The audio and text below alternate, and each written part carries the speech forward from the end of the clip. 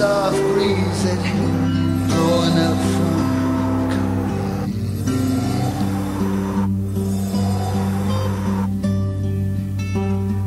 Most Novembers